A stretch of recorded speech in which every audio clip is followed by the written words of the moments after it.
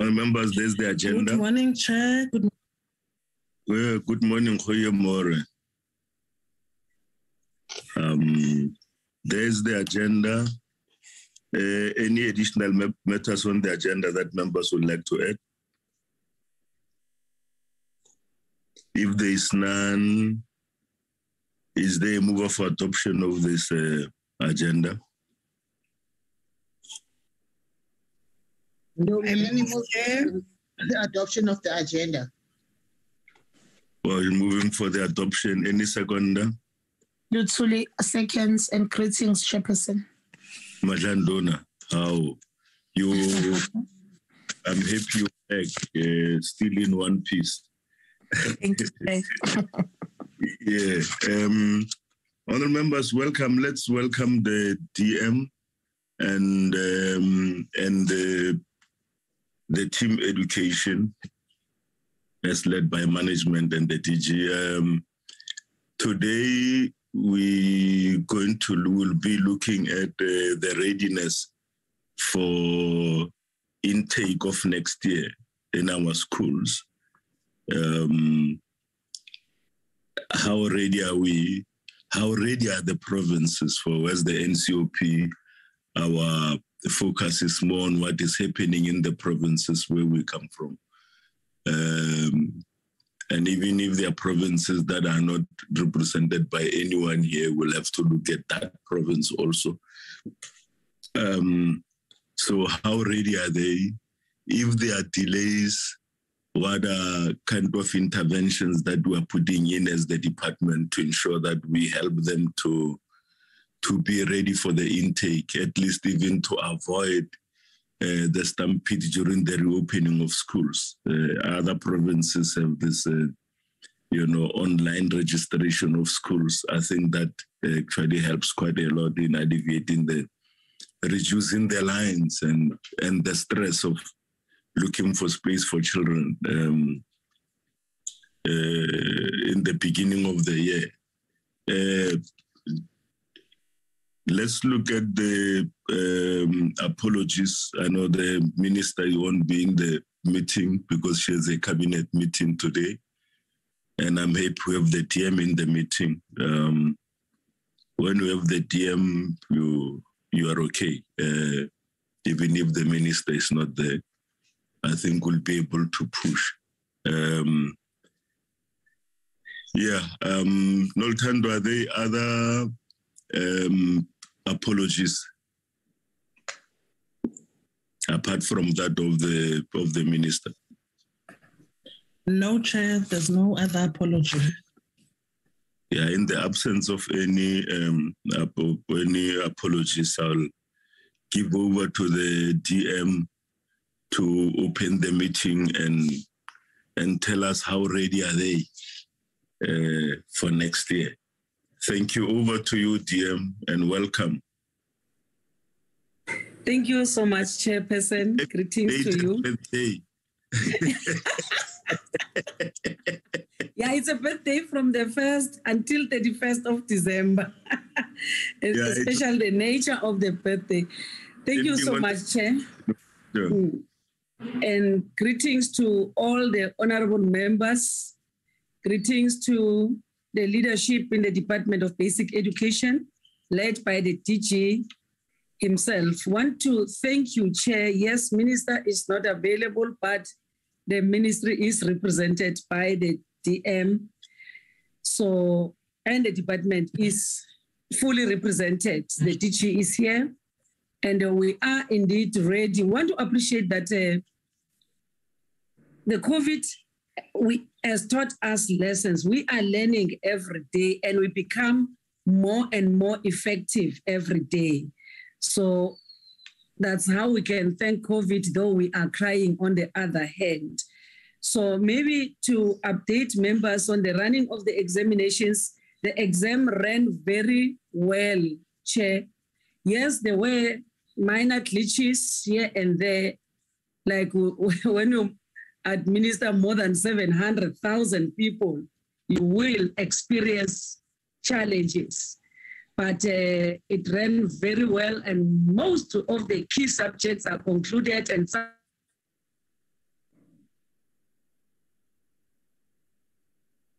December.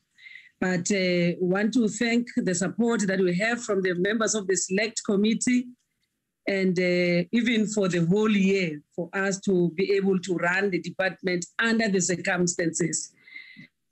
Teacher, I don't know whether I'm audible enough because my network is not very good this side, but uh, Chair, allow me to hand over to the Director General who is here with his entire team to be able to take us through the presentation.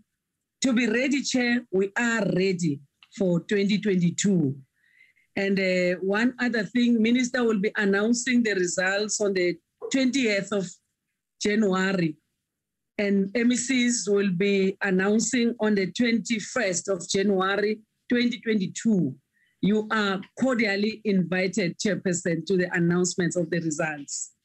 Oh, Uh, let, let me take this opportunity and give to DG to take us through the presentation. Over to you, DG, with your permission, Chair. Thank you very much, Honorable Deputy Minister, Honorable Chair Ntate Nchabeleng.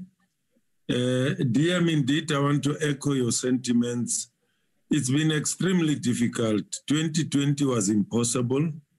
Uh, beginning of 2021 was even more difficult than what we had seen in 2020. But it is the leadership in the department of the minister and DM, MECs, uh, oversight structures of parliament, including the select committee, uh, that uh, enabled the sector to soldier on, to instill uh, uh, courage and confidence uh, amongst us, public servants and foot soldiers who had to keep the sector afloat. So I think this time of the year, Want to convey also our greatest appreciation and thanks for that. Had it not been of this leadership and oversight, uh, we doubt whether we would have been able to pull it through again in 2021. Uh, we do that because we look back. We have the advantage of doing so because we're rounding off 2021. We're presenting a report on the state of readiness. I do know that uh, the chair would like us to do a punchline and not go word by word, detail by detail, every slide, and so on. Uh, Mrs. Geyer uh, will definitely do that. Just summarize, uh, do the punchline um, to take uh, the select committee on what the crystal uh, ball looks like for 2022 um, as we have prepared uh, with provinces. This information comes from uh, the engagement that we had with provinces to indicate their individual state of readiness. We are quite comprehensive this time around. We've taken an all-round uh, assessment of the state of readiness. We're looking at uh, how provinces uh, uh, get themselves ready for 2022, uh, but we're also looking at ourselves, DBE. What are the policy activities that we have taken place to enable 2022 uh, to proceed uh, seamlessly?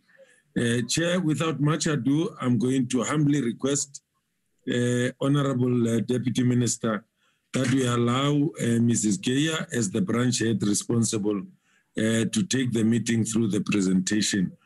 Um, I am in this meeting, Chair, but I must also indicate, Deputy Minister, I'm in the social cluster meeting because I am chairing a government cluster uh, of uh, the social sector.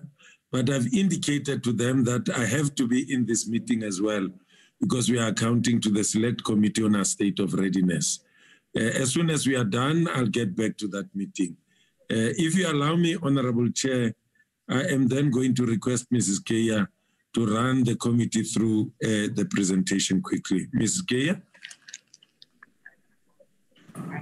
Thank you very much, DG, and good morning, Honorable Chairperson, as well as the Honorable members of the House. Also, I acknowledge and greet our Deputy Minister in the meeting. Um, so, we, like DG has indicated, this is our readiness report. It is compiled from all the information we receive from provinces. Normally, we go for uh, visits uh, in November, but because of the COVID uh, pandemic, we could not go this year. And uh, we are planning some visits in uh, January from the 12th to the 28th, where we will go out and, and gather further information based on this report, as well as we will be doing follow up visits, um, follow up assessments. Um, where there are problems uh, that are indicated in the reports that we get, and we will do this through telephonic uh, follow through from the 28th of February to the 11th of March. And thereafter, we will then send monitoring teams out, which would include the DBE officials as well as the circuit managers in the provinces.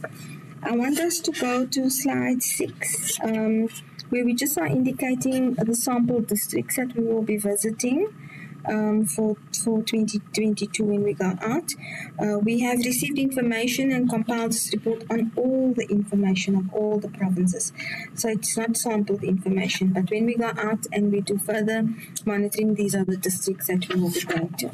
Just uh, the areas uh, we indicate on that slide, uh, but I won't spend time on it because I'll go straight into covering uh, the COVID. Um, um, update in terms of uh, what we have done in preparation for 2022. So we have the standard operating procedures, and uh, this is in all the schools and um, all the provinces. We've made no new changes to the standard operating procedures, so that will still be the status quo when we go and open up in 2022. And all school principals and SGBs are required to ensure that uh, these standard operating procedures are implemented. And provinces have communicated that, that to the principals, and uh, the monitoring will then happen to see the extent to which this is uh, being implemented um, on our vaccination campaign, is given in information there. Um, everyone knows that the DBE had a large campaign over the months uh, of June, end of June to the end of July. And we're just giving you information of the number of educators who were on the database, which covered all the officials in the Persal, it covered all the teachers, it covered the SGB funded uh, uh, teachers, it covered all the independent schools, the food handlers, um, and they were all registered on the health um, database. And then of the people that um, chose to be vaccinated, we give the number that 455,360, and they received the Johnson um, uh, J&J vaccine. And then beside of that, we've also had other teachers who prior to our vaccination campaign were already vaccinated uh, because they were of the appropriate age to be vaccinated. And after that, there were others who still cho- chose also to go and get vaccinated. So the number improved. Then on the 12 year olds, 17 year olds, we are just indicating that uh, this is uh, the policy of health that is um, is um, starting the vaccinations of that age group of 12 to 17 year olds, and they are conducting uh, the the, um, the, the the vaccinations.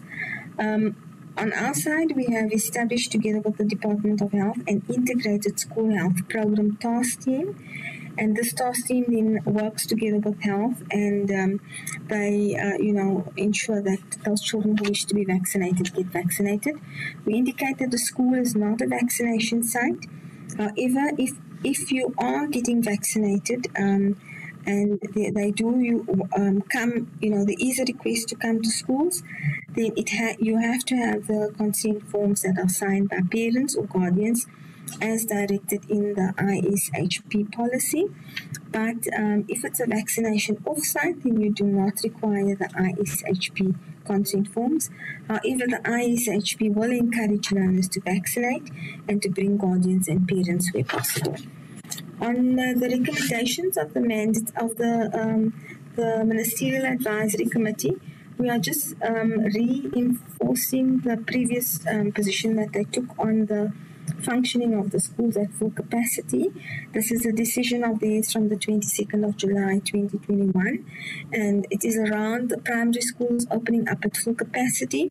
The advice was that the primary schools had to have uh, um, social distancing where it was uh, possible, but if it wasn't possible, then they should still come to school and open at full capacity, but they should uh, maintain um, um, some feasible uh, physical distance, and the children should wear masks all the time, and they should have uh, two-hour breaks, and that those breaks should be between five and fifteen minutes.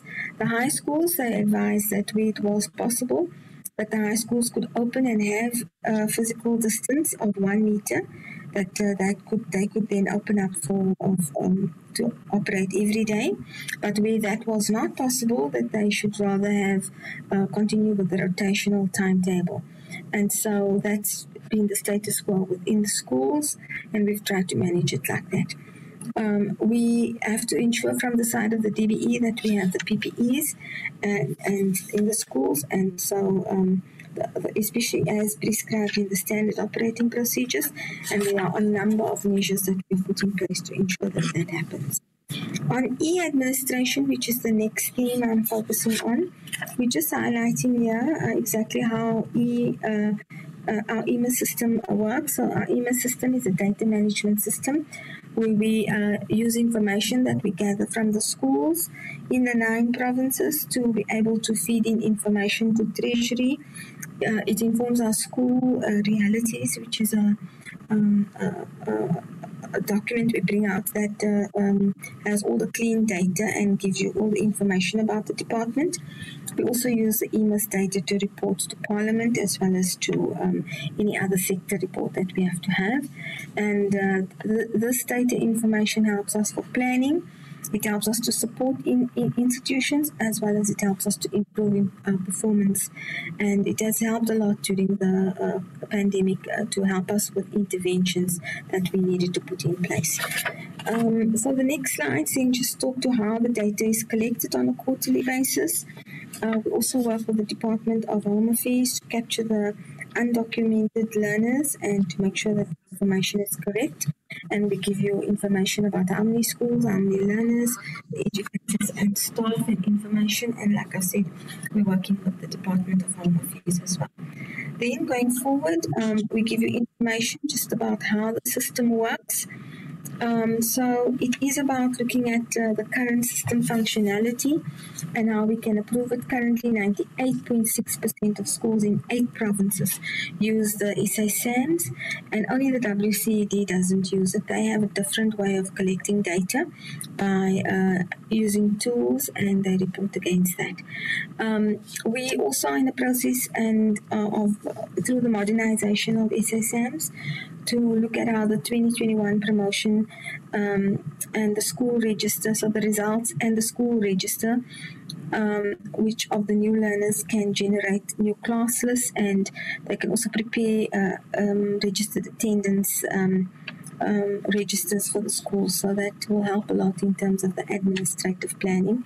We give you information about how the update is required on SA SAMS and how the school notifications happen through circular um, 1 of 2022 that informs schools of all the required data fields that will be needed to report for next year. Then in terms of next slide, we give you information about how SA um, is structured, what it um, is able to do in various reports that it can um, compile, as well as uh, the all important 10 day snapshot of uh, um, what is the number of learners that have been uh, registered at the school so that that can inform what the total um, reliable um, learner data is uh, in the country. And uh, then we have another annual school survey which happens in March. And all of that information is very important for us to compile useful uh, data from uh, what's happening at the school level. On learner admissions, we give you information about the closing dates of the, admin, uh, the admissions uh, for the different provinces. Most of that has closed off already. We give you information in the next slide on undocumented learners, and I've already told you that we have worked with the Department of Home Affairs, but we also just highlight to um, the the House that uh, the, there was a court case uh, in Eastern Cape called the Phakamisa judgment. And um, as a result of that, we brought out DBE Circular 1 of 2020, and that advised the provinces on what that uh, judgment was saying and that it was applicable to all provinces, and that undocumented learners could not be excluded from the schooling environment, that they had to be um, uh, um, allowed and given opportunity to learn, which is their constitutional right guaranteed under our constitution, and that the outstanding documents and assisting them with the documents is a matter which ourselves and the officials from the departments need to work with the Department of Home Affairs to facilitate that that happens. So there's evidence of proof that is required uh, in terms of how we have to mitigate uh, the, the, the, information and we're just giving you that information in terms of what that evidence of proof is there. Furthermore, we give you information about um, exactly what the activities are of the various provinces on how they went about with the admissions. There was a number of uh, communications, a number of using radios, using um, uh, circulars, using um, different uh, TV uh, programs um, to um, highlight, you know, what the, the, the, situation in the provinces are and um, how the admissions is, is unfolding. They also have a manage, management plan in each of the provinces that of that. The slides then talk to the breakdown of uh, learners in the different grades per province and um, what the unplaced uh, percentage uh, numbers are. And uh, you can see here that uh, the highest numbers of unplaced learners sit in Gauteng as well as in um, in Western Cape, and it is in particular at uh, the onset grade, like grade R or grade 1, and also at uh, grade 8 uh, when they're going to high schools. That's where you have this uh, large number of unplaced learners and uh, then we give you the information about why that is the case. It's because of the um, late applications that continue to be a problem. Some parents just ignore um, applying, and so they come at the last moment, uh, despite there being cut-off dates given by the provinces. And also, there is an influx from rural communities to big cities, and this has uh, um, then created some problems. Informal settlements that spring up make it difficult to plan in terms of what exactly that uh, numbers of uh, expected learners would be in the year, and that influx then uh, that comes, especially from rural to urban areas, presents a problem to us. But uh, we mitigate all of these challenges, um, especially the one from urban to rural areas, um, and we see how best to, uh, to our planning in relation to provisioning of classroom space, of teachers, and of textbooks. The issues around English medium schools remain also a problem because they want to have um, better quality of schools. They perceive English medium schools to be that. So we try to see how best to manage that uh, in the provinces.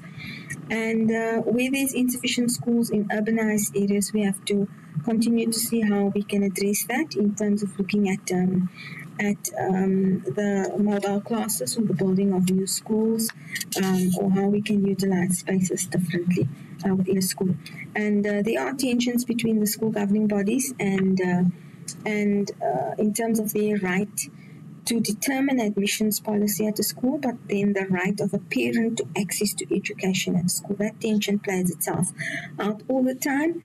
And of course, those provinces who operate on a first come, first serve basis they um, have difficulties because they are challenged by those who live in the local areas and they wish to have their children placed in there. So we, we uh, mitigate all of that and there is a pre-closure assessment that we do and in particular we look at uh, Gauteng and Eastern Cape around that. On teacher provisioning, we're just giving you information here on exactly what the policy says um, in terms of uh, what is the criteria that uh, needs to be um, applied on, on uh, post provisioning. And uh, we then look at what is the status of, um, in terms of monitoring uh, for teacher provisioning. So we give you a breakdown in slide 27 on exactly what the, um, 28, sorry, what the um, the province, uh, what the distribution of the post establishment is, um, they have to declare the post establishment by 30th of September. This tells you uh, when the province has declared. There were some difficulties in some instances, and that was because they could not complete um, the consultation with the unions. In some instances, the COVID pandemic affected the consultation process. In other instances, they could not reach agreement immediately because of uh, information that they were engaged in. But ultimately, they were able to um, declare the post-establishments and all the schools have received their post-establishment letters. On the supply of Funza Lushaka graduates, we are compelled to um, report on the Funza Lushaka graduates in particular because um, this item is a, um, it's state money that is used to provide the bursary. And so um, when we have to report for auditing purposes, the auditor does want to see the extent to which there's value for money on the money that we have spent on on, the, on from this bursary. And so each year we tell you uh, uh, what are the number of, of bursars that are to be placed. And uh, the, for this year, there are 6,085 the that have to be placed. They are prioritized on the provincial list, but they are not the only bursars who are prioritized on the provincial list. We also take uh, from the NSFAS, and we also take bursars from who are self-funded to be able to place them, especially um, where there are subjects that are in high demand. Sometimes the NSFAS bursars and the self-funded bursars sometimes get a uh, place, placement faster than the FUNZA buses because they offer the, the subjects that are most needed in, in, a particular area. Then on LTSM and the procurement distribution, we're just giving you information there on in the next theme on uh, what is the status of the catalog. So we have these national catalogs that have uh, been developed, and uh, they they are um, applicable still in the provinces uh, to get uh, materials for various grades, and for, for, including sign language and for um, for um, the FET grades as well as for the new grades of technical subjects. And then in the slides which follow, we give you a status report on exactly what the procurement models are that the various provinces take. So in some instances, there is a centralized procurement model to maximize on the economies of scale. In other instances, there's a hybrid model which then allows for the Section 20 schools to be centrally procured and the Section 21 schools for the money to be transferred to the schools and they procure the, the, the textbooks or the stationery and and and uh, this happens you know differently in different provinces.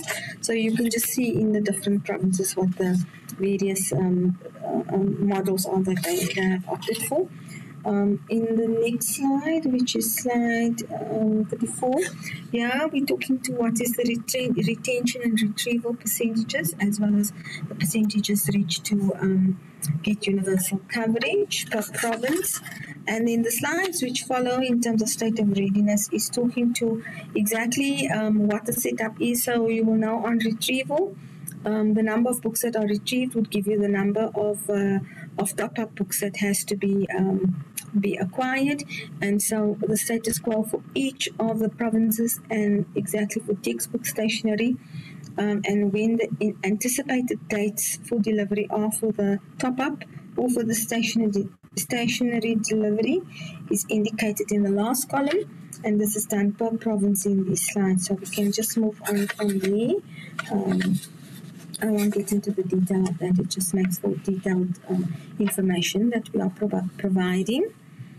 Um, then, if we just move to the challenges and how we're mitigating it in our strategies, so we have looked at what exactly the challenges are around textbooks, around stationery, around Braille, and sign language.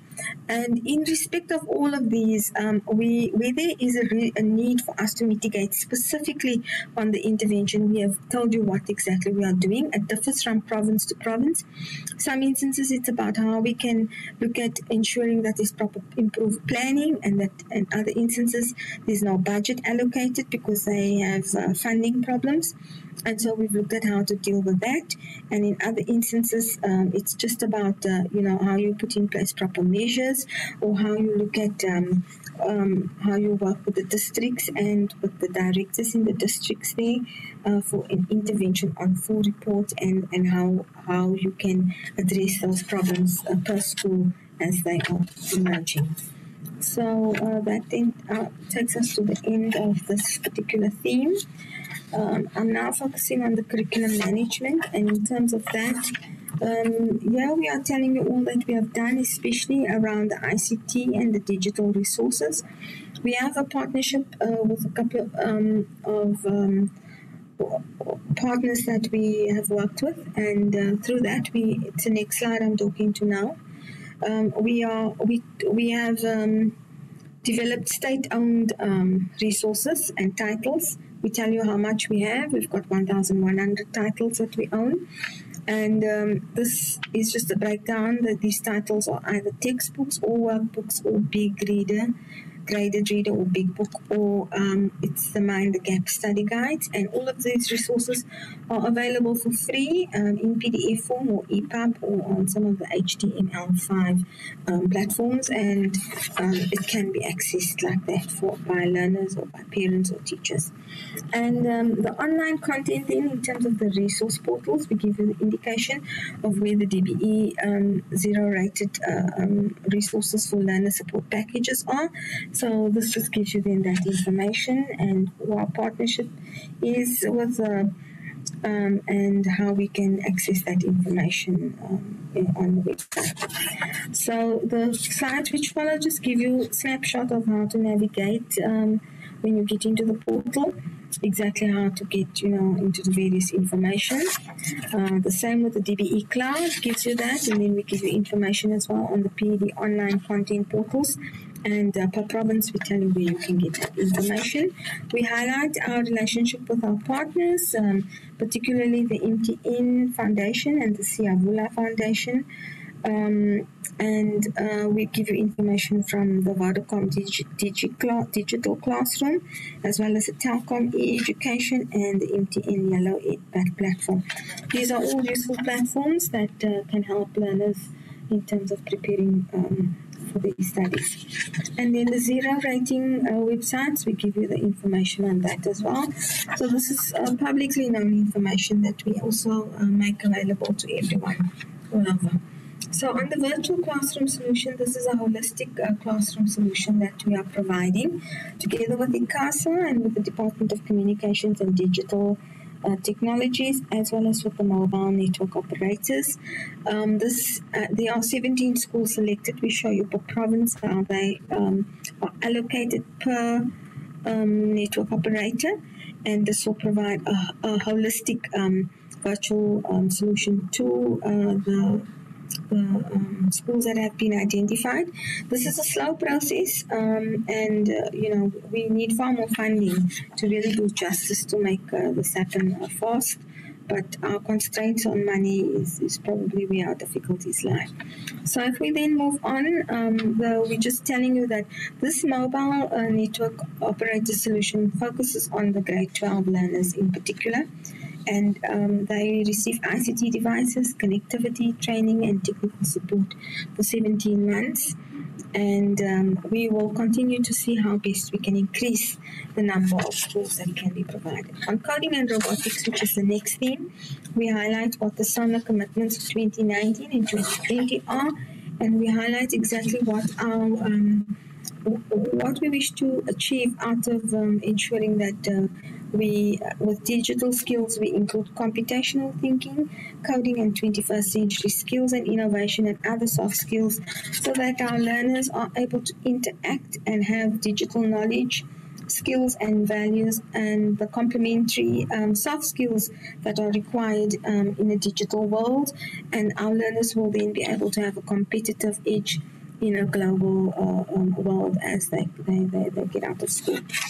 So our objectives and the purpose for coding and robotics is displayed um, in the next slide. If we move to slide, I think it's slide 57.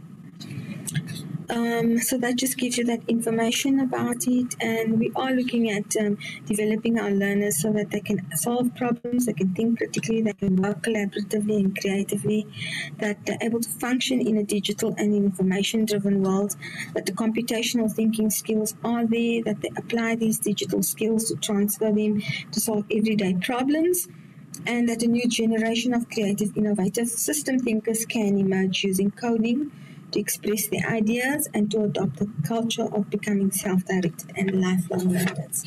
So the next um, slide talks to the, the, curriculum that we have in terms of the digital skills uh, curriculum for grade R to 9. And uh, it is about uh, application skills, about internet and e-communication skills.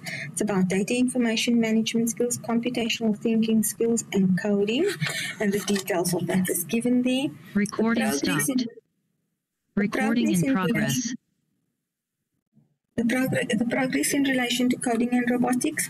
So I've indicated that we are in the process of implementing the curriculum. We had a ministerial committee. We had a, a Minister Gazette, the draft CAPS for coding and robotics. Um, we received public comments during this year in March. And um, then we also had to send it to Umalusi. Umalusi then asked us to repackage and to resubmit the curriculum and assessment policy statements and uh, we effected the changes and we have resubmitted to the Umalusi. And um, and so they have to now give us the final word on it. Um, the state of readiness is that we have started with the uh, teacher digital capabilities and looking at what the resources are that are required, the network coverage and connectivity in the provinces, and also to ensure that uh, the nine provinces establish project management teams to consist of curriculum development, MST grant, and inclusive education infrastructure and, and safety directorates to coordinate um, uh, the implementation of the curriculum when it when it is. Um, um, up and running. And we've done advocacy in uh, for this year during Mar- March and May. And um, we just give you the details of uh, you know who we have done the advocacy and roadshows with in the nine provinces. 52 districts were visited, and we've interacted with all these officials that we indicate there to ensure that they are orientated. So the next slide speaks to that orientation for grades R um, to three and seven, and then grades R grades four to six and eight, and uh, how that uh, had unfolded. And we give you the provinces where have, it has happened, and that we still have to look at the LTSM provision, and we work with our partner, Cecil Foundation, on that. And also, we have to look at lesson plans that have to be developed and uploaded into the DBE cloud. The provinces are piloting in grade R to 3 in 200 schools and grade 7 in 1,000 schools. And we have guidelines for the implementation of coding and robotics that is at a final stage and we monitor as well following that. So the slides that follow just give you the photos when we monitored exactly what happens in the coding and robotics space in the provinces. So that just gives you an interesting um, snapshot of you know how this is unfolding in schools. And lastly, in the challenges, we uh, uh, highlighted the fact that there's funding problems to procure coding and robotics resources. Um, there's a problem around the scheduling of time uh, because it involved uh, increasing the school timetable, and we need to take that through the ERC and uh, to have uh, accepted, you know, that there is an increased timetable, school timetable there, and um, that we need to also appoint the service provider to do the training for grade seven. And uh, then we're saying that the schools that have been monitored show common challenges like a shortage of coding and robotics and ICT resources. They have problems on network connectivity for teaching and learning, and the security of procured resources is a problem, as well as the teacher resources remains a challenge. And uh, then our future plans uh, is uh, talking about continuous teacher orientation, uh, which we had in October of this year, but we'll continue to have next year. We need to develop the exemplars uh, and guidelines um, that will help uh, to ensure that we are able to engage and teach the learners. And we give you an indication of how the piloting of the curriculum will happen from the different grades in 2022, 23, and 24. Moving on then to the nutrition. Uh, so nutrition then we're just telling you that everything is in order here for the 2022 academic year. So the funds, uh, this is a very well established program. The funds are transferred to the schools. There's decentralized procurement that happens. The last tranche will be transferred uh, in December 2021 for 2022 all the contracts are in place for the food and the fuel to be delivered. The food deliveries and the adequate uh, supplies of stock are in place. And the food handlers do daily attendance to prepare the meals, and there are committees that are in place to ensure that there's operational compliance and functionality, and there's joint monitoring that happens to ensure that feeding happens from the first day of schooling um, in, uh, in SNP. On infrastructure, there's various aspects that we are giving in terms of infrastructure. So you will know that uh, we have to look at how we manage uh, the new area, new schools that are being built. Our DG has done a lot uh, in this area um, over the last few months in the visits that he has, has has done to provinces monitoring it. And uh, so the main thing is to ensure that new schools are completed and in time for when the schools have to be reopened and that the renovations and repairs are also done before the schools open and there's a campaign for cleaning of schools before the opening where there's storm damage or vandalized schools during the holidays that there are contingency plans in place to ensure that that is addressed and um, that the schools are not disrupted um, as a result of any storm damages or vandalized schools. We work with the Department of, of Treasury, with the National Treasury, and with the National Disaster Management Center to ensure that uh, there's a, a process flow and turnaround period for the rehabilitation of facilities that were affected as a result of nat- natu- natural disasters. And in the case of vandalized schools, uh, we work with the um, schooling community as well as the, dep- uh, the provincial departments to ensure that the schools are rehabilitated and it's habitable by the time the schools reopen. The various things that we have to look at in infrastructure around classroom short- shortages, and here we have to look at overcrowding and to see how best we can provide uh, uh, mobile classes. On the hotspots, we need to look at uh, what the trends are, what the pattern is on influx of learners, and how we can provide temporary accommodation. On maintenance, we have to ensure that uh, the implementation of the maintenance of infrastructure facilities is uh, improved and that uh, we utilize the um, EIG grant per province to allocate the maintenance projects from there. And the incentive allowance um, allocation is uh, for, on the EIG is being implemented to incentivize qualifying pro- provincial departments to address immediate challenges such as norms and standards and maintenance. And also we have maintenance guidelines that are in place. Now the slides that follow just give you a summary of where we are at in terms of infrastructure um, on the inappropriate structures, we give you a slide. Um, we also give you, so that just tells you how far things are in, in the provinces uh, around uh, making sure that the infrastructure, the water supply and sanitation is there. The next slide talks to water supply. And uh, yeah, again, in much the same way, we are giving you a summary of what the status is on the water supply. On uh, safe sanitation, the same applies here. Uh, we're giving you a breakdown of uh, exactly what happens here. And we zoom in as well on safe, and that uh, we're giving you an indication of the total of schools per uh, organization that is busy here on the allocation of the schools and, and the, the, the um, uh, state of completion. Then the slides that follow now talk to the school furniture.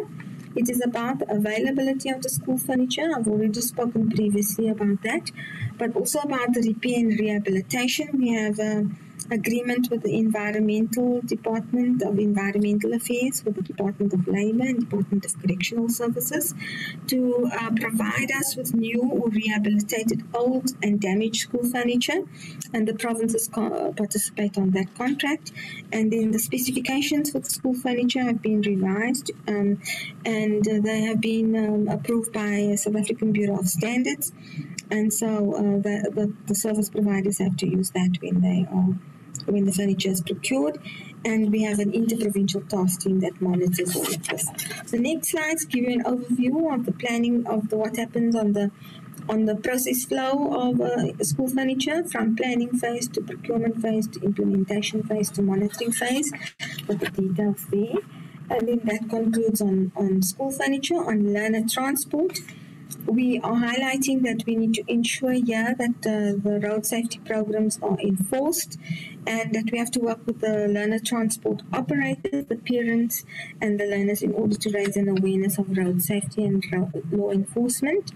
And uh, we give you on the next slide the details of um, what the overview of the number of learners and the needs are and the targets are and the progress is in relation to per province, um, uh, how the, the, the learners are being transported per quarter. And then uh, in terms of the learners with special educational needs, the same um, is given there. So then we're just explaining in the last slide that um, with learner transport, the desired outcomes remain. Timeous delivery of service, rate of road accidents have to be reduced, coordinated approach in relation to planning and implementation, Um, the learner transport operators that adhere to the road traffic regulations, vehicle maintenance must be there as well, well as technical support for emergencies. Needs to be viable and sustainable operations. There needs to be uniformity of services and tariff structures, and we need to have a coherent performance monitoring system in place. On safety, the school safety. Here we're just giving you information on the extent to which we have uh, really tightened up on school safety, the number of districts that we have per quarter from quarter one to three, looking at our national school safety framework that we have implemented to ensure that the safety committees, the school safety committees are in place and that proper risk management and that we follow the implementation of the Occupational Health Health and Safety Act um, is there and that uh, there are emergency um, and evacuation plans in place and first aid toolkits that are there. Um, so these um, safety, school safety um, measures are there to help and to ensure that we continue to train the number of um, a number of schools on uh, looking at protocols to manage sexual abuse and harassment, as well as to fast track um, using SA SAMS, good getting good data to inform planning and programming around school safety, ensuring that the school fences are prioritized to ensure the safety of learners, educators, and staff, and uh, also that we identified a continuous need to train the educators on positive discipline and the inculcation of human rights based culture in learning environments and school communities. So on bullying, we have similar um, programs that are there to ensure that everything is in order at schools and that we try and reduce the bullying and cyberbullying and gangsterism, violence, substance abuse, all of these social ills that uh, put pressures on our communities. Our Minister and Deputy Minister have had ro- road shows to roll out uh, this strategy of ours to uh, ensure that we limit uh, bullying and cyberbullying in particular. And uh, there are a number of initiatives that are aimed at molding the learners to be noble and respectful citizens with high self esteem and environmental awareness. That we provide psychosocial support in order to prevent and address the hopelessness and frustration and depression and anxiety as a result of bullying.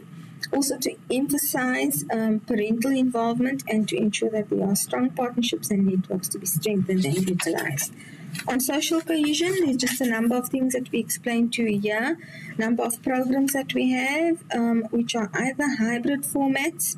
So COVID has affected us quite badly, and we were not able to uh, run these programs on a face-to-face basis, um, like the National Schools Moot Court and the Oral History Program of Albert Luthuli the Youth Citizens Action Program, Democracy Education, and so on. But in 2022, what we want to do is continue with a hybrid approach and ensure that uh, we then um, have uh, these various programs continue. Looking at school and sport enrichment, we will um, see how best to reboot and reboot and resume um, the learner programs in 2022 um, and we will focus on the readiness of the schools to resume that by ensuring that the COVID um, protocols are in place. When there is a, a high infectious rate, we will then um, uh, go onto a, a, hybrid model where we look at what we can do virtually. It becomes difficult on sport, uh, but we have seen that uh, with other aspects like quiet practice and so on, there have been very innovative ways in which you could use even the internet to pay for that. So this thing is a presentation. It gives you an a very detailed um, summary of what it is that we uh, have done in preparation for school readiness, and it has taken on board um, the COVID protocols and the COVID COVID um, interactions and um, uh, remote learning that we have to also look at. Thank you very much, honourable members.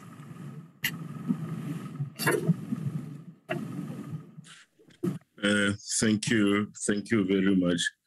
Um, are there additions from the department? Anyone who wants to add something, feeling that there's something that was left? In the absence of any uh, honorable members, there's the presentation on readiness uh, for admissions for 2022. Um, we can engage with the presentation by asking questions. Unless DG wants to add, but this the present. Who is that? Um, yeah, with the with the with the questions, I, I, I'd like to know, um, uh, GM, what is the progress in terms of uh, the repairs to schools that are storm damaged? And um, remember, there were uprisings in July in KwaZulu Natal and Gauteng. Um, what I want to know is uh, how far are we in repairing schools that were damaged and the properties like you know furniture stolen and, and computers in those schools in KwaZulu Natal. My heart actually goes to the Golden Steps school in in KwaZulu Natal. uh, schools of children who are who are, who are with uh, very serious uh, di- disabilities. Their computers get stolen, got stolen, and the workshop was looted, and many others. So I'd like to know what are the how far we in, in, in repairing the schools and making sure that they'll be ready for the intake of next year. Um, and of course, the South Africans are, you know, people moving from rural areas to closer to towns. What what will happen, like in the Eastern Cape and Limpopo and Gauteng, uh, even KwaZulu Natal? I think all provinces where there are uh, rural areas near cities, people will obviously flock from the move from the villages closer to the city, uh, and that could cause. Uh, classroom shortages? Are there plans, for instance, uh, in acquiring uh, mobile classes to accommodate those uh, children? Um, because obviously there will be shortages of classes in, in the light of the the COVID-19 restrictions uh, with social distancing. And if we have more children this year, more than we had last year, obviously there will be those kind of shortages and yeah, what are our, our plans in dealing with it? Honorable members, uh, the floor is yours. Those who want to ask questions and let us engage with the report. And thanks for the detail, uh, details in the report. Thanks a lot.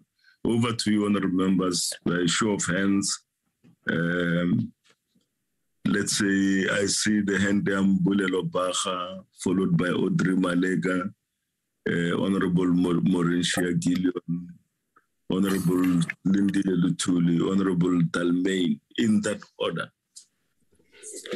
Um, thank you, Chairperson, and um, let me welcome the, the report presented by, by the department. Um, I think that it shows that uh, at least there's, there's readiness for 2022. Uh, but I have, um, I think, about four questions, Chairperson. One is um, what are the plans that the department has um, for the learners who dropped out because of uh, during the COVID 19 period? Um, is there any kind of leeway that is opened for those learners who would want to come back to school um, come early next year when we reopen. The second one, the, the second one, the second one, Chairperson, is um, on uh, learner vaccination.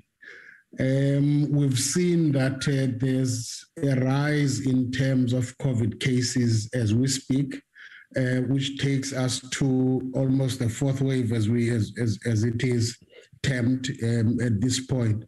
Um, what plans are there um, that are made for the learners to be able to get um, some kind of vaccinations um, to avoid such spread as we get ready to the schooling period again.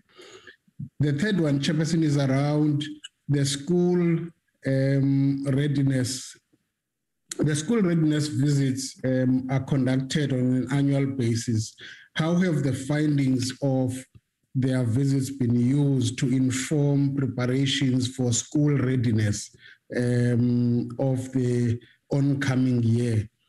And the last one, Chairperson, is around the fact that oh, I want to welcome the fact that the DG and team, or and his team, um, have done school visits for infra- infrastructural oversight, which I think that is related more to the question that you've just raised, uh, Chairperson.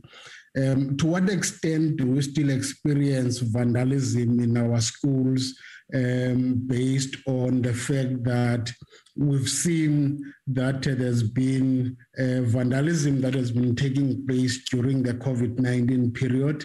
Uh, is that now something that we are able to deal with or able to handle, or has it gone down more than it was um, before or during the first outbreak of, of COVID 19? But I want to welcome the report, Chairperson, and the readiness um, that is indicated by the department as we, prov- as we proceed towards uh, 2022. Thank you, Chairperson. Thanks, Honorable Baha. Honorable Ndongeni, uh, you are recognized. You'll speak last. You are last on the list. Uh, the next person will be Honorable Maleka. Uh, thank you, Chairperson, and greetings to the department. Report from the department and it's clear and convincing, Chairperson. What I want to check with the department, what is the department planning to do with shortages in respect of in respect of learner transport and routes? And my other question, and to check with how many unqualified foreign educator educators with fraudulent certificate does the department currently employ? And what is the department doing to keep that uh, from occurring? I think that's my two questions, Chairperson. Thanks, Honorable Maleka. Um, Honorable uh, Gillion. Um, thank you, Chairperson. And let me welcome the report from the department. And thank you, DM. Um, Chairperson, um, out of this report, I can see that the department is ready on a lot of areas. But in this province where I'm residing and represent in this August House, I am very worried because every year DM is the very same story. Up until yesterday, there was 29,000 unplaced learners in the province of the Western Cape. And, and this is a repeating story year on year. Getting calls from parents who um, applied for their children to be placed in schools early during this year already. Still up until today, is parents struggling to get their children into schools. I've also heard out of this um, presentation that was given to us that the old story is still continuing, and not only in this province, but throughout the country, that we are faced with for many, many years. And that is the story between the department and the SGBs and placements. Now, DM, it has been highlighted that Gauteng and the Western Cape are the provinces that we are facing this problem every year. And really, it can't continue like this. During um, um, previous deliberations, one of the issues that was highlighted yeah, um, during um, this committee and the department's engagements and also with social development is the issue of um, that we don't have enough social workers um, in, in, in our schools. And one of these issues that I'm trying to highlight and trying to get answers for our parents and children also has to do um, with all the struggle that these children and parents are going through. When they are at last sometimes months in the in the uh, um, new school year when they are placed in schools they are experience so much trauma. Now my question to you as the dg and the dm this morning is as follows. When are we going to get into a situation where at the end of a school year we we don't have enough um, place for children who must attend schools. It is their constitutional right.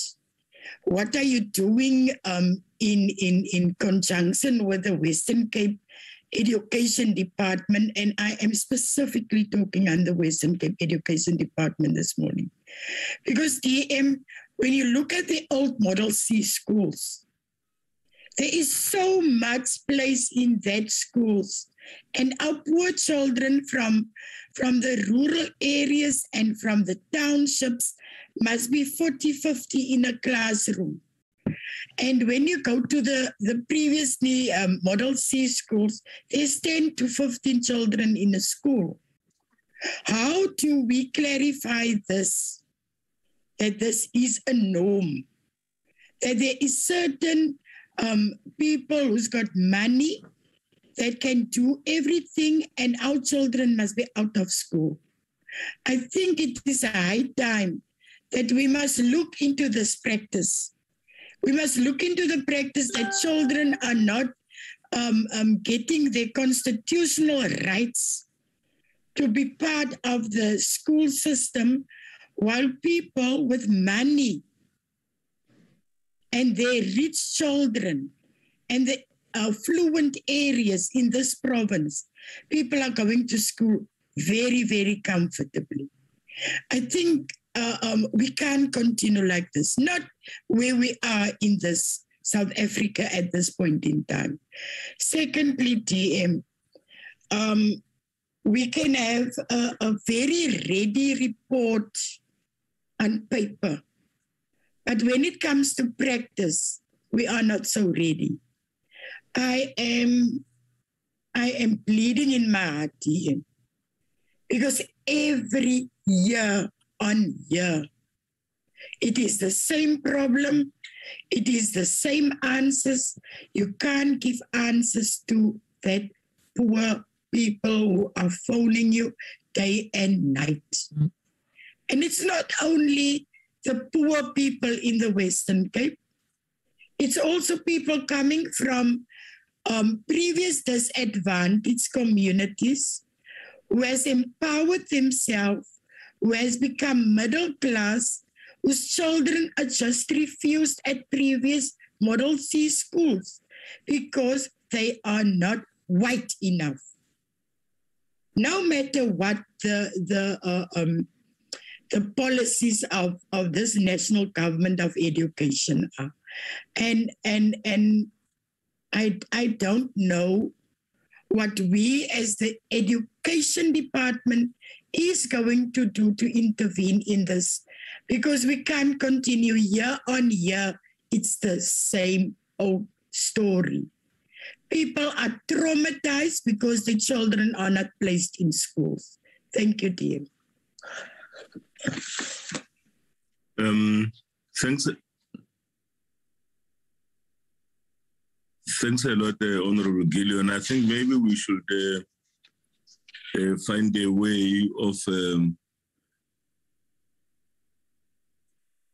of of writing some of these questions to the provincial departments uh, where there are these issues, where if each and every year we have you know the same problems recurring. We don't seem to be learning from from the previous years when it comes to registrations of schools. So if there are particular issues that members would like to raise pertaining to their problem to their pro, to their provinces, I think it will be wise to write them down and and and and and send them to the department so that we can get those answers from the provinces. We don't see what happened in the last three years recurring this year. Um, Honorable Madandona. And even um, where possible, I think we, as a committee, if we agree, we can call any uh, MEC to come and explain uh, themselves where they are, where we are not getting uh, uh satisfactory answers. Uh, Honorable Madandona, the floor is yours. Uh, thank you, Chairperson, and greetings to everyone. Um, one would like to welcome the, the presentation by the department. Uh, most of my questions have been covered, but I would also like to add something on, on what uh, the honorable members have already asked, especially in the shortage of uh, learners transport. Uh, DM, we know that uh, in KZN there is a lot of um, kids being raped and kids being uh, kidnapped are walking uh, to school and from school. So uh, one would like to know if maybe in 2022, the problem of uh, scholar transport will be sorted out, more especially in KZN because I come from KZN. And also, we, one would like to welcome a teachers assistance program, but maybe uh, because we see there's a need for teachers assistance, why don't we have a program to to hire these uh, teachers assistant on a permanent post? Uh, I will make an example. Um, in a school where a teacher uh, teaches a, a seven-day cycle, you'll find that four days uh, they spend it on administration and three days on contact time. So uh, I believe that uh, these uh, teachers' assistance is needed and it should be on a permanent um, uh, basis. um, and also, um, I would also want to add uh, to what Honorable Bacha was saying in terms of security in our schools. Uh, as we are approaching uh, closing of schools, we know that most of the schools will be vandalized. Uh, there'll be break-ins in schools, and when we come in January, there'll be a lot of fixing in our infrastructure. Can the department uh, find uh, proper and qualified uh, guards to guard our schools and be paid or be insourced rather than we get a, a company that will bring us security uh, guards and uh, they become expropriated. So, and the last one um, is the overcrowded of schools. Uh, we don't know uh, how long the COVID is going to stay with us. And it's been a problem for quite some time, the shortage of, of classrooms in our schools. What are the plans uh, in the department? Do, do we have something that is on the pipeline in terms of uh, building more classrooms in our schools? Thank you so much, uh, Chairperson. Thanks, Honorable Luthuli. Then next will be Honorable Christians. Thank you very much, Chairperson. I hope I'm audible because I'm in an area where my reception is not too good. Um, Chairperson, my question is just around the placements of learners. Um, the question was asked by Honorable Gillion, but I want to know about the rest of the provinces because in the Northern Cape, a few months ago, there was a huge issue with parents complaining that their uh, children have not been placed yet. So specifically Northern Cape, but also in all the other provinces, what do our um, children placements look like in our schools? And then uh, my next question is about the rotational um, timetables at schools. Will that still continue in the new year?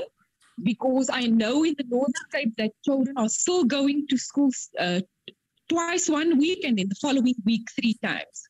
So, in light of the COVID totals increasing again, will that rotational timetables remain or will other plans be made? Um, additionally, in light of the COVID uh, totals increasing again, what plans does the department have in place to assist teachers and learners with remote learning? Again, my focus is on the Northern Cape because of our vast terrain, our long distances, but also because of bandwidth and network issues within the Northern Cape. How will that be sorted out in light of our COVID totals increasing again? Um, and lastly, does the department have some kind of collaboration with the Department of Health? We've heard in the news recently that especially our younger children are getting ill with the new COVID variant. Does the Department of Education have some kind of collaboration with the health department to um, see to it that our young children are either vaccinated or that um, there's an awareness making, more awareness making um, process in our schools and um, especially in our primary schools where it seems that the COVID cases um, will rise amongst our younger children. Thank you very much, Chairperson.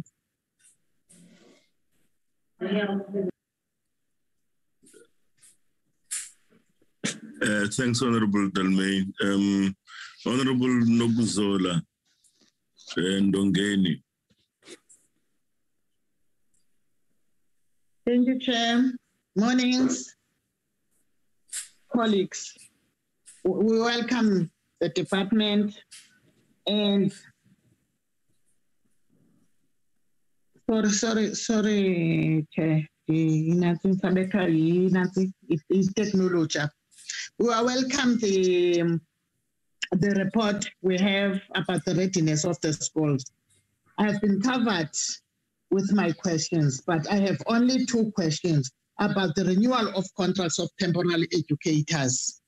The second one, I didn't hear about the delivery of the stationery. I'm not quite sure whether they have reported about the delivery because it used to be the late delivery of the of the stationery.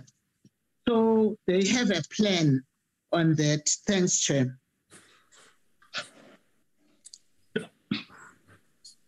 Um, thanks, uh, Honorable Ndongeni. Um, DM, let's hear the responses to this. Um, um, I want to hear something about golden steps. Um, if there is any information, if there is none, then that information can be given to us in writing. Golden Steps is that school in KZN. Thank you, thank you, Chairperson. Welcome. My my gadget is not good. I'm using Zubeda's gadget now. Uh, and with the DG and the team, I would like them to come first, then I will clean where they have left. DG, I see you are still in the meeting.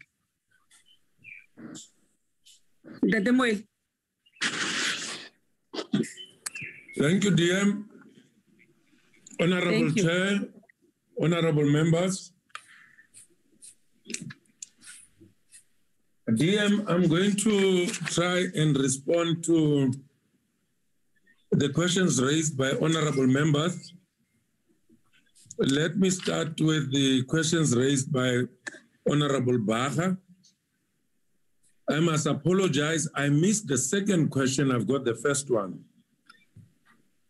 The first one was uh, um, Do we know the learners who constitute the dropout rate and what are we doing about it, particularly those learners who might have dropped out as a result of um, the impact of COVID 19?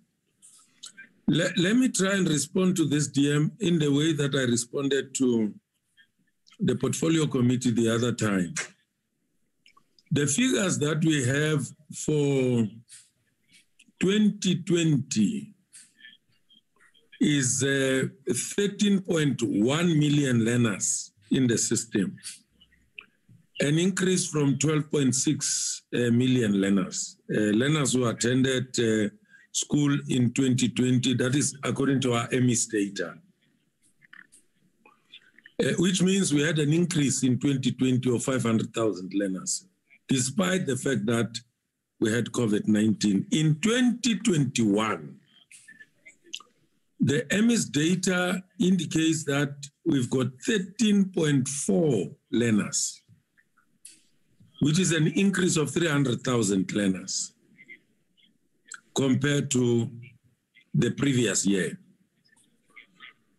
We do not dispute the fact that learners might be dropping out, but we want to bring to the attention of this committee and all others, including the public, that more often than not, when people calculate or work out the dropout rate, they'll say, for instance, Uh, uh, 1.5 or uh, 1.4 learners entered grade R or grade 1.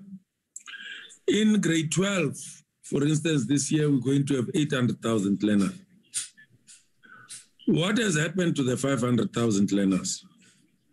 Many people forget that at the end of grade nine, many learners choose to go to FET colleges, and FET colleges have got over 800,000 learners, uh, Honorable Chair. So, in our calculation, we simply forget about the pathway offered by FET colleges at the end of grade nine and if we don't see this number in grade 12, we are saying, no, they got lost in the system. This view is held by very esteemed, highly respected academics and professors in South Africa, which is not correct. And I'm trying to correct it to say we need to factor in learners who go to FET colleges after grade nine. Uh, the official figure that uh, we arrived at, um, and we're still um, uh, looking at uh, the figures that are coming in now, which is a while ago, was that the, the, the dropout rate in the entire system was between 11% uh, and 15%, which is not more than that, which is not what people purport it to be. So, in short, Honorable Baga, if learners uh, left the system and they choose to come back at some stage, they are accepted in the system. No learner would be rejected on the basis of the fact that they left the system at some point. We do accept them. But we are also conscious of age appropriateness, those that uh, uh, we of the view that uh, they might have gone through the uh, age appropriateness of uh, getting into the grade that they want to get into, they are referred to like uh, ABET centers and so on. The, the third uh, question that you asked, I, I did indicate that I missed the second one, was about our uh, monitoring during the reopening of schools. What do we do about these findings? Indeed, these findings are factored in but I must be woefully honest, many of them which have to do with infrastructure take some time before they are acted upon, given the financial constraints that uh, provinces uh, find themselves in. Um, so that, that, that's about that in terms of the findings but many of them um, are indeed uh, acted upon. We do even go back to oversight structures of parliament uh, and say, this is what we found. Uh, the portfolio committee insists on that. Uh, after going on the, the oversight visits, they would say, come, tell us what you have found, what is your plan, and this is what we have found ourselves and what are you going to do about this? And sometimes they would call us with provinces into one meeting. We do act upon this, but I must be woefully honest, we are unable to act on all of them. But uh, those that we are able to act on, we do, we do act on them. Act on them.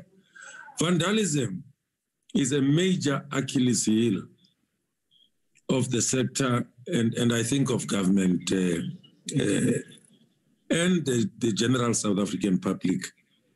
Now that schools will be closing, Honorable Baga, I begin to anticipate the, the damage that is going to accrue as a result of vandalism and theft in schools. Schools have been linked to police stations, adopted a cop is, is what we have. But as we all know, during the festive season when schools are closed, the South African Police Service uh, also has, has to contend with crimes, broader crimes in society. And as a result, uh, to be honest, they are unable to pay attention to individual schools. Uh, at the same time, as government, we don't have money to employ security uh, per school. The, the, um, the teacher assistance and general assist, uh, assistance program or general workers program uh, goes a long way in assisting in this regard. Although you don't have people who are trained as security personnel who are posted, but at least the general assistants are able to keep watch. And if people see that at least there's somebody on the school premises, uh, the vandalism and, and, and theft in schools um, is reduced. I also want to latch on what Honorable Luthuli also raised about the possibility of, uh, I think we're on the same page. Our view is that we, we, we need these young people to be employed much longer than the three to six months. We've, we've muted this to Treasury, National Treasury. They've not uh, rejected it, uh, but they've not even neither accepted it. They, they said that they are giving it a thought. They look at the resources and then uh, check whether it would be possible to take them on a much longer, we're even suggesting over the medium term uh, period, at least a period of three years. And then we budget for them again. And maybe over time, they could be absorbed uh, permanent in the. They, they don't only ameliorate um, the problem of easing the burden on teachers. There are one teacher schools, Chair. If the teacher gets ill, there's no school uh, in some of these one teacher schools. And with this teacher assistance, I've been out to provinces from February on the school infrastructure program to check also because uh, the majority of these schools are your schools in the far-flung uh, rural areas, in your commercial farming areas, one teacher school, two teacher school, and so on.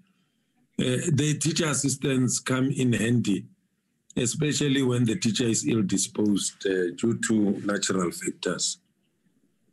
So I agree with Honorable Luthuli there.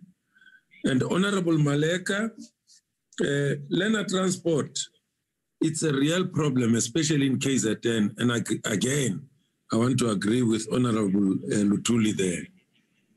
Uh, KZN having the largest number of learners and uh, experiencing serious uh, uh, financial challenges owing to budget cuts. I mean, KZN, I think, experienced in one financial year 5 billion cut from its budget, uh, uh, Chair. And, and I'm saying with that budget cut, you, you're likely to bring the department big uh, as it is like KZN on its knees. It is budget cuts that really undermine the intentions of the sector and the department to provide adequate learner transport to learners, not only of KZN, but across all the nine provinces. And, and this is beginning to hit uh, the sector. Uh, at some point, we'll be able to say to honorable members, we are unable to appoint teachers because of budget cuts.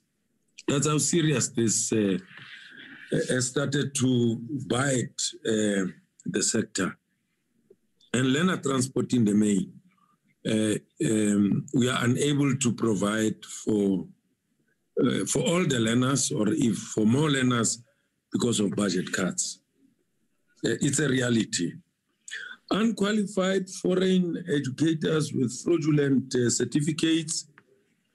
Fraudulent certificates, you do get them not only from foreign nationals, but even from South Africans and, and these matters are dealt with by South African Qualifications Authority. They are also dealt with by SACE. And I think in terms of the exact figures, we could get those figures from SACE and then send them back to uh, the select committee to indicate how many. The numbers have gone drastically down. I hardly hear of that. It used to be quite prevalent, but uh, given the fact that uh, SACE insist that before teachers uh, start to teach, there must be confirmation from SACE that these people have the requisite license to teach, and that has helped a lot. Honorable Gillion, you, you, you, you are right. Um, well, the reason why this, this phenomenon of uh, unplaced learners is quite prominent, uh, particularly in Western Cape and Gauteng, it's because of the inward migration in those provinces that is uh, unprecedented as compared to the other seven provinces. They've got the highest number of people who move into those provinces. But I want to agree with you, and part of the problem in Gauteng and, and Western Cape, and Western Cape, I want to say Cape Town. Let's not say Western Cape, let's say Cape Town. Uh, there is a problem of favorable um, uh, classroom population among your former Model C schools, which we've raised with uh, my colleague in the Western Cape. I think beginning of this year, I had to go there. The minister and deputy minister sent me there. I met with the HOD. They eventually met with the premier. The premier intervened and got the, the, the provincial treasury to release money um, for mobile classrooms to be procured so that learners could be placed. It had precipitated to a very serious crisis. I, I fully agree with your sentiments being close to the furnace of fire, as you are, particularly in Cape Town, it is a problem and it is an annual ongoing problem. And part of the problem, Chair, is that you don't have enough land designated for schools. I've already acknowledged the favorable uh, uh, class population of uh, former uh, Model C schools, but the other problem is that land in, in, in Cape Town and Johannesburg and neighboring towns, it's used for commercial purposes, and schools are not considered. They come as an afterthought. Uh, uh, people think about, you know, um, commercial means of um, uh, getting development in these uh, affluent towns, and they tend to forget about schools. Uh, I'm not sure the issue of uh, how far the, the issue of virtual classrooms is going to assist in this regard.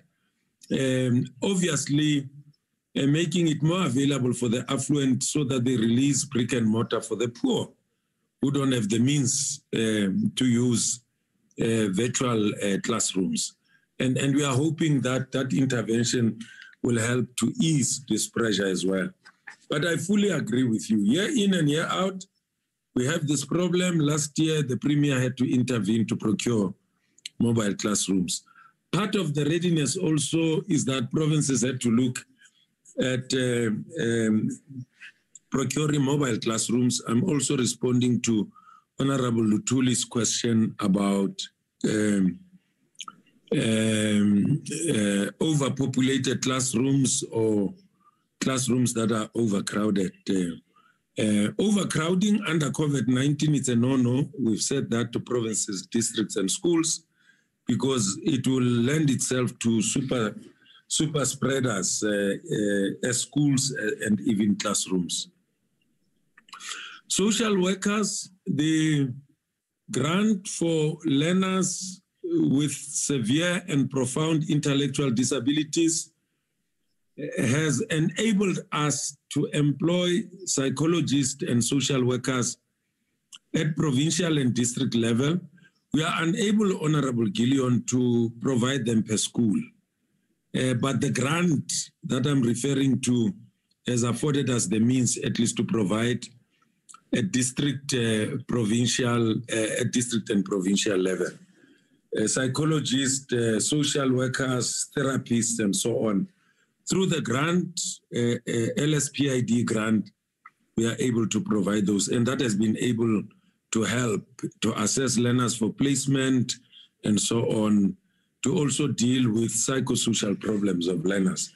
But we also use other means, you know, your lay counselors, uh, young people who are employed through the HIV and AIDS grant, we're also using them there to, to, to assist. And, and through the phase two, um, which also provide the teacher assistants, we're looking at uh, your uh, lay um, uh, assistants as uh, those will be able to provide support uh, to learners um, in the absence of your qualified social workers and so on. We also use uh, um, um, institutions of civil society, such as religious bodies, to work with them, uh, particularly under COVID 19, uh, to help us to deal with issues of uh, trauma as a result of losing a loved one, uh, to help with counseling and so on, including universities and NGOs, online services that are provided through the line function of the psychosocial support. We also use them there. And then, um, when are we going to resolve the problem of unplaced learners? Uh, Honorable Gillion, my problem is that I appear to you regularly. I don't want to make commitments that are not going to happen. Uh, what I can say to you is that I am extremely optimistic uh, the numbers that we are sitting with this year, in my view, are much lower than the numbers that we had last year and the year before. So over time, we should be able to overcome this challenge.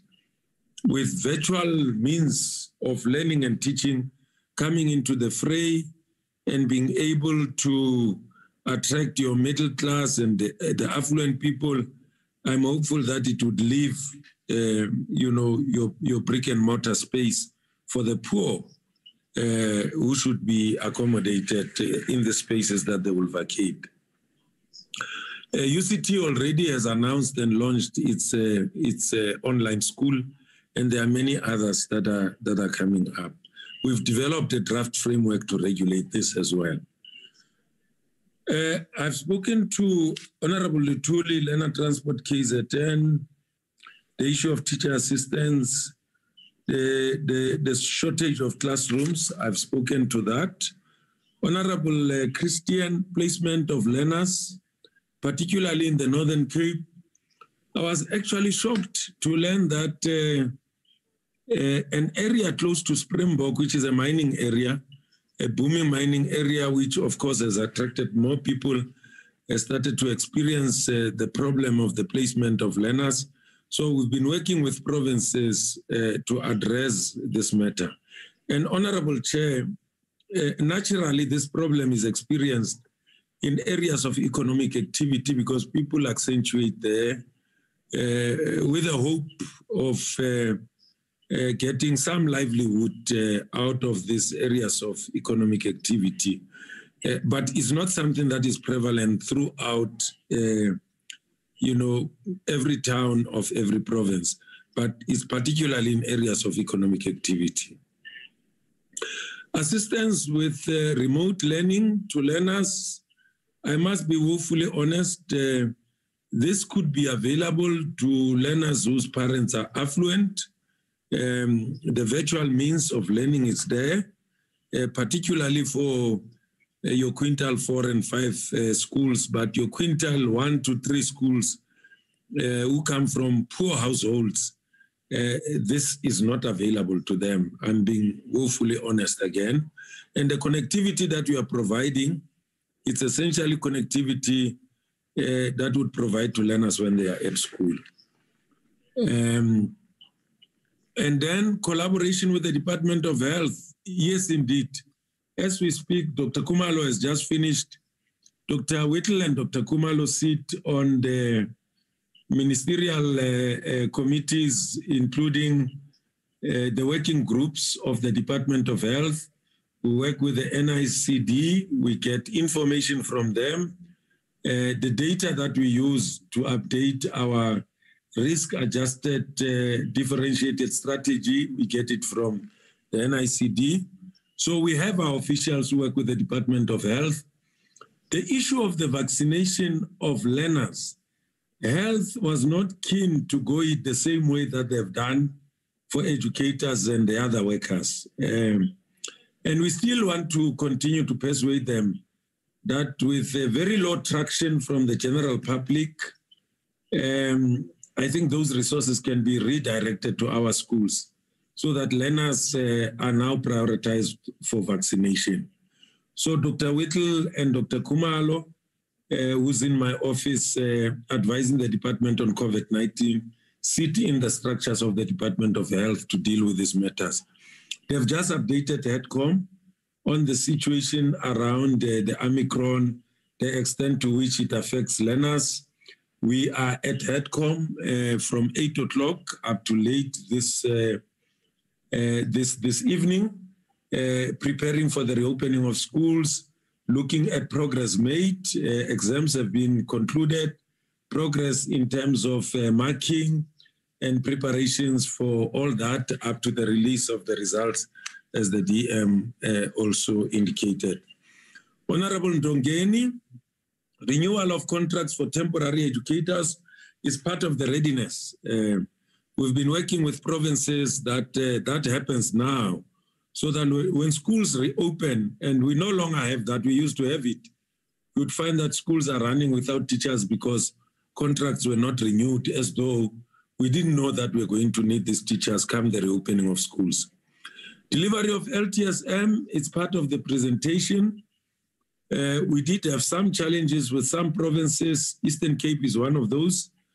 Uh, but the HOD, Dr. Mbude, has assured me that uh, she's put mechanisms in place to make sure that uh, learners are not going to be compromised because of the lack of or the late delivery of, of LTSM in that province. DM, thank you very much. I'm going to ask Mrs.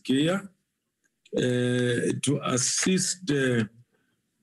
Mahada has just made me aware that um, the second question of Honorable Baha was about the vaccination of learners, but, but I've covered that. There is no indication now, it's only individual families who are making arrangements for vaccination and so on. As I've said, the Department of Health was really not keen to focus on the sector and focus on the vaccination of learners, but we've not given up. We're still going to follow this up. I think we believe that uh, with the vaccination of learners, uh, it's going to help us a great deal even to return all learners uh, and end the issue of the rotational system, which was, I think, raised by Honorable Christian the rotational timetable. Uh, as I said, is busy discussing that. Our intention is to return all the primary school learners, but until we conclude and look at the risks that are presented by Dr. Kumalo and Dr. Whittle in terms of the prevalence of the virus, the vaccination of teachers, and all other factors that are coming from the Department of Health. I'm unable to confidently say that uh, we beat the rotational timetable goodbye. Uh, not as yet, but uh, the proposal that we had made was that for high schools, we need to continue with this whilst we get grade 12 and grade 11 coming back. Thank you, Honorable Chair. I do get uh, an indication that uh, I've overstayed my welcome. So maybe Ms. Geyer could, could just touch on, on, on those that I, I, I did not cover. Thank you, Chair. Thank you, Honorable Chair. Um, any additions? Thank you, Honorable Chair. I think DG has done a very good job of answering the questions. Um, there just remains a question around the foreign qualifications and how we are dealing with that. Um, so there is a set procedure that uh, is actually in place in, in DHET. It's a criminal offence for any person to fraudulent to, to have uh, fraudulent qualifications, irrespective of whether you are a foreign national or you are part of uh, a citizen of South Africa. And so, um, the moment that the, the, verification of the qualifications, which is done through SAQA, um, is um, is is approved, or they pick up that they, these are, are fraudulent qualifications, there is a process that is alerted that that uh, kicks into place and that then deals with the fraudulent qualifications. And uh, we have uh, always um, been able to pick it up uh, because of uh, the way in which uh, you have to get approval from SAQA. So initially, you may be able to get in because of the urgency that a school may need to have a teacher immediately but you're not able to stay there very long. And the moment SAQA picks it up, that's when the criminal aspects of, of the procedure um, kicks into play. And uh, you, you um, SAPS and and uh, the Hawks become involved in the process uh, in that way.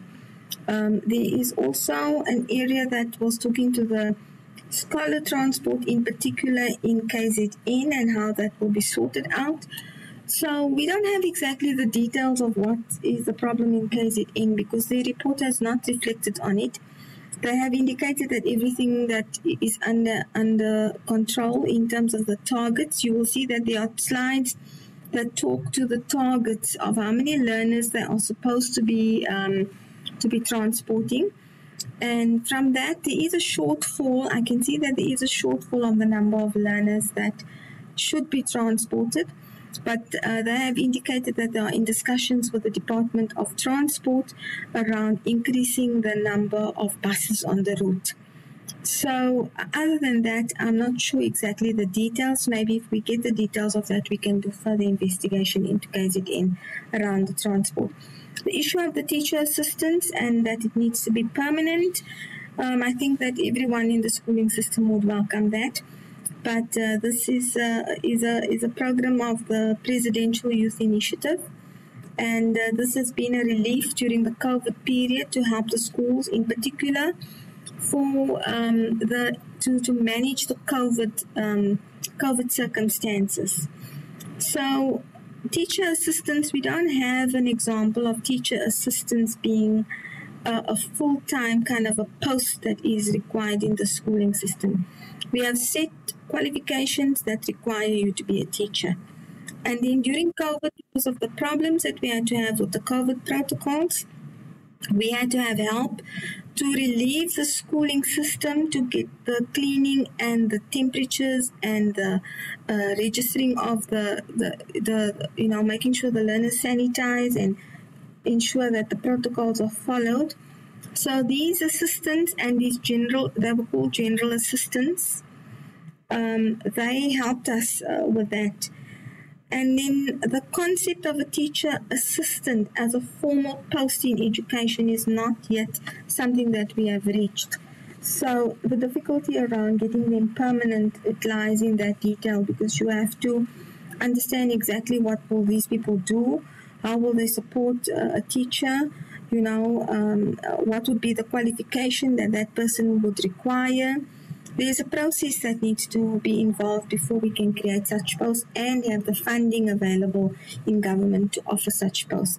But from an educational point of view, I think that the teachers in the schools really welcome the assistance that they received from having uh, some support, and uh, they would. They, and from a job creation point of view, I can also understand why there was a plea for that question um, to, that was asked.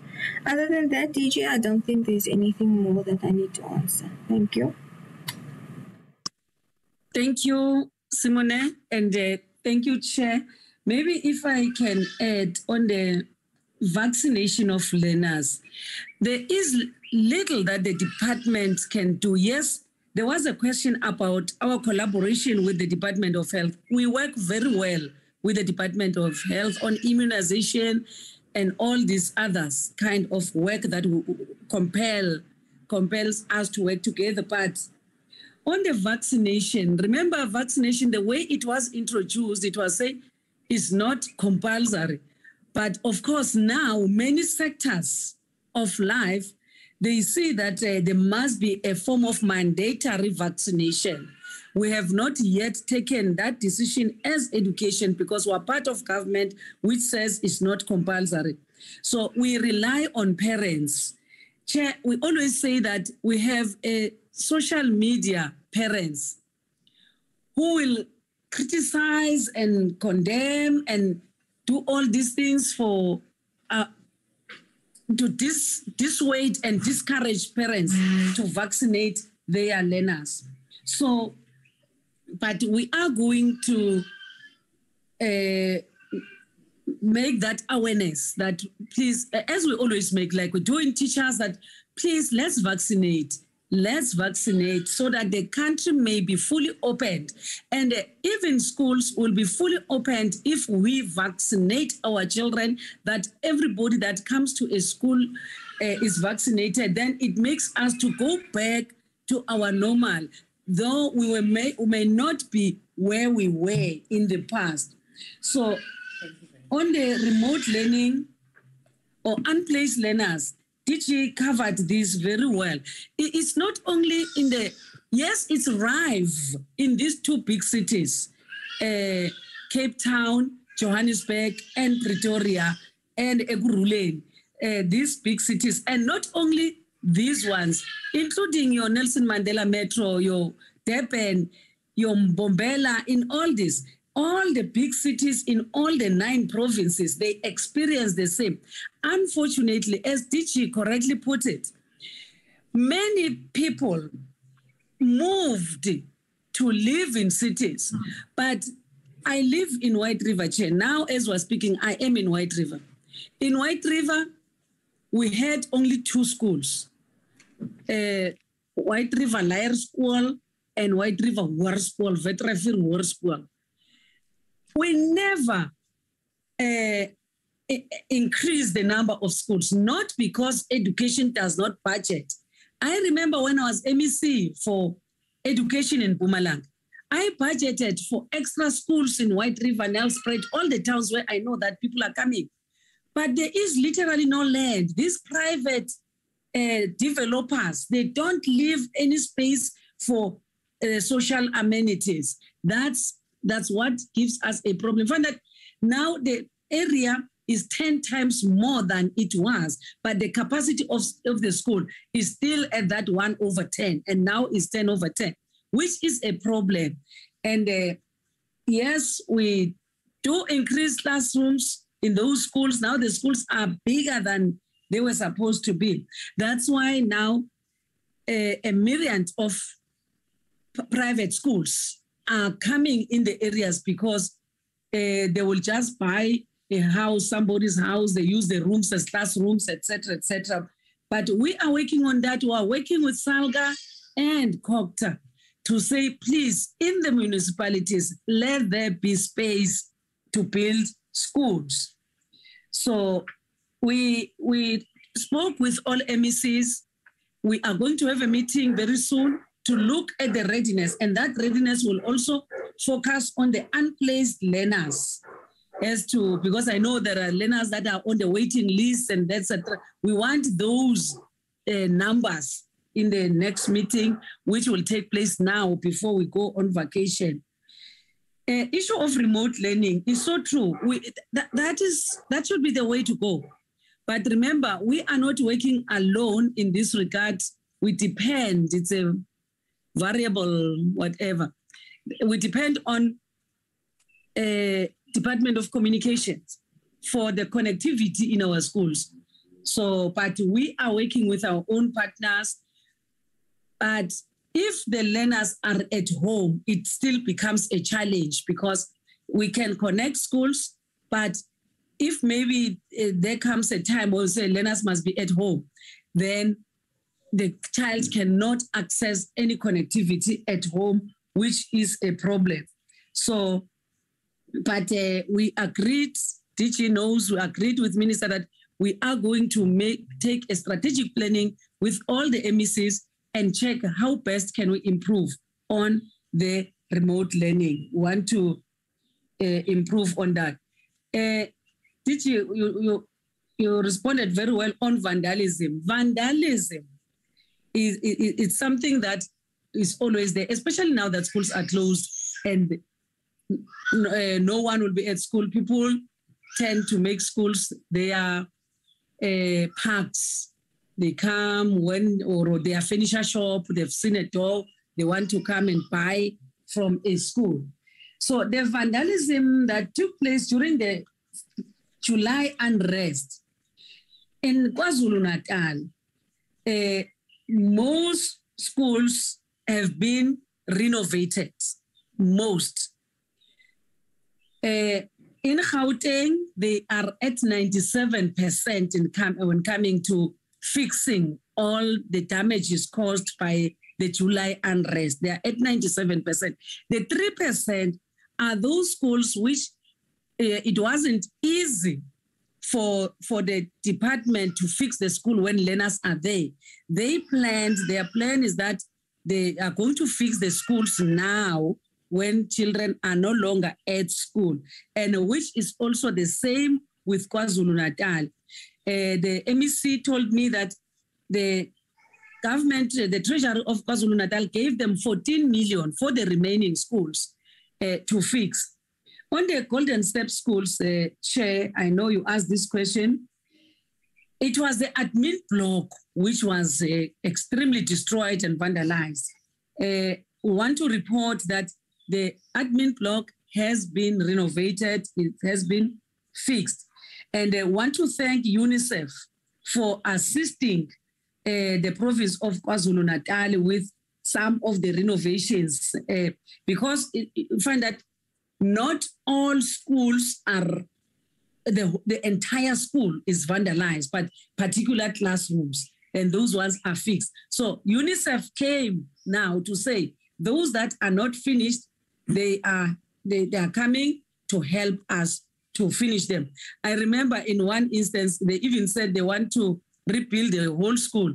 Then the, the officials in the department said, in the department at KwaZulu Natal, they said, no, it's only the admin block that is vandalized, especially the Golden Steps, because UNICEF wanted to replace the entire school. They said, no, it's not the entire school, yet the school itself is old.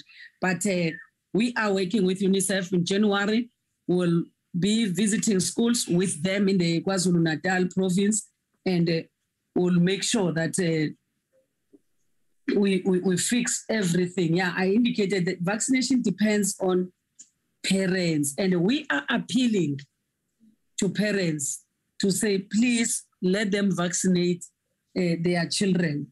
Let them allow their children to be vaccinated, and uh, it will make life better for the schools. Teaching, there was a question about temporary teachers. How are we making them permanent?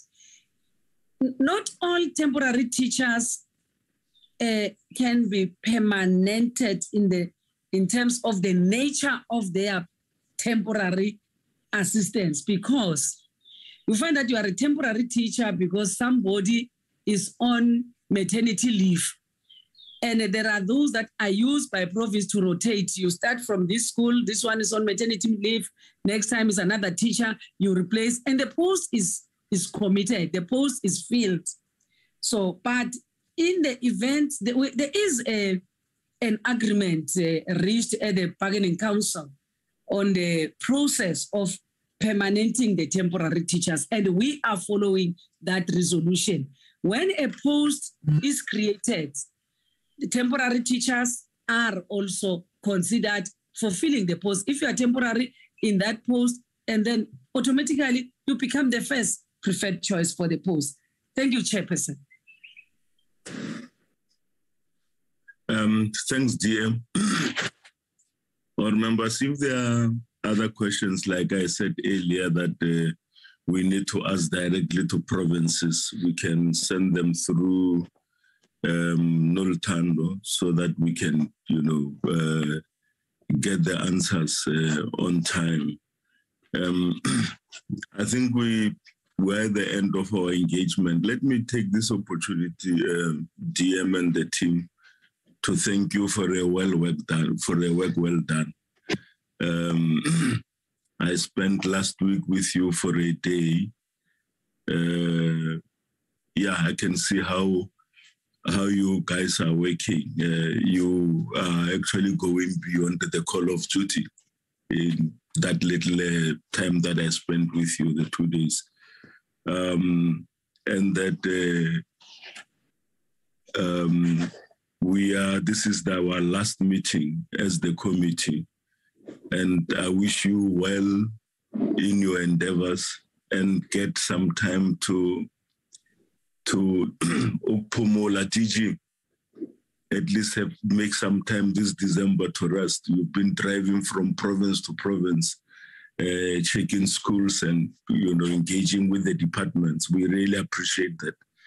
And as a result, that's why uh, things are getting better all the time because everybody knows that Big Brother is watching you. uh, continue playing that role, sanitize, wear a mask. We need you next year. And this goes to all of you, DM um, and all the members. Let us stay safe during this festive season and that zibuye saphelele uh, in January. We don't want to a spelelanga as a committee. Um, with these words, um, enjoy your festive seasons. Uh, DM? Chair? Yes, the last word. Yes, thank you very much, Chairperson, and the members, honorable members, for the good work that you are doing for the country. You are the ears and the mouthpiece of our of the people of our country, South Africa. And uh, sometimes we feel you are a bit you are rough, tackling us rough, but uh, in the end, we see that uh, you are doing good for the nation because you see things that we may not see.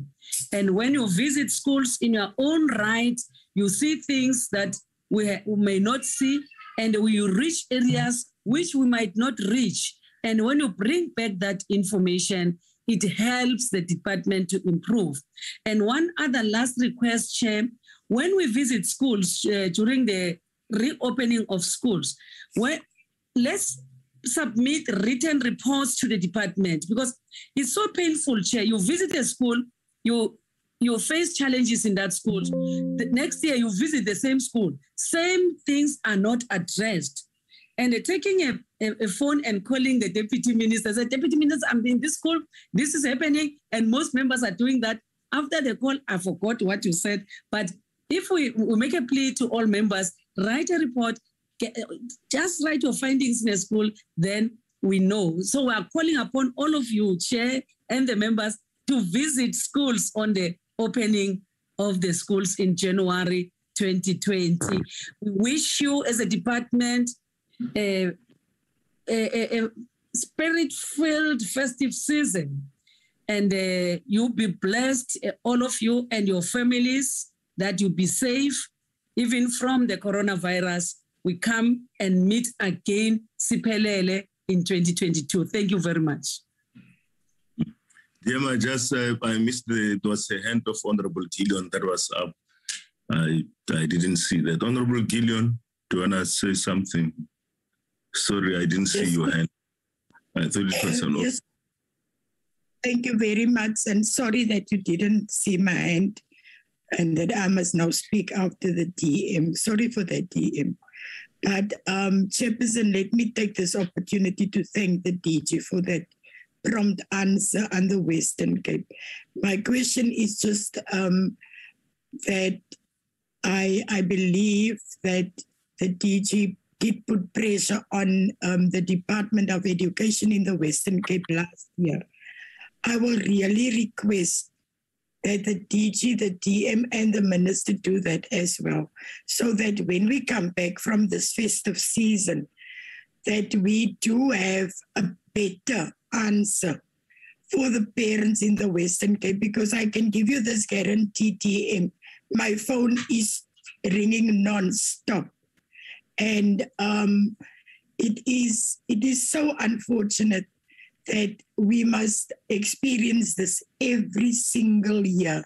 And thank you also for your hard work, DG and DM, and also to the minister. Thank you. Yeah, thanks, Honorable Gillion. Sorry, I didn't see your hand then. Um, and this will go to all members who've got the issues pertaining to their provinces uh, we need to, like the like the DMS said, that we need to write these things down, our observations and all the questions that we have, and you know where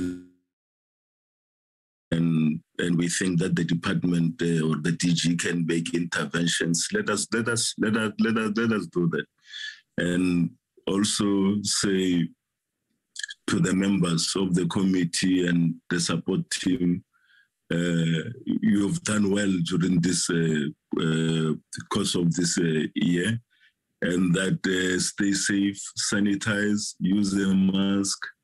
Let's meet again Spelele next year. Uh, with these words, this meeting is adjourned. Enjoy the Thank you so much, Chair. There will be the members, uh, the, the DM and DG, your staff will be released, and the department and the committee will remain just doing some um, committee work. Thank you, Chair. You're all released except the members of the committee and the support staff. Thank you. Thank you, Chair. Thank you, honorable members. Thank you, DM. And uh, Siyabulela, siyabulela enkosi. Liyabulela, are.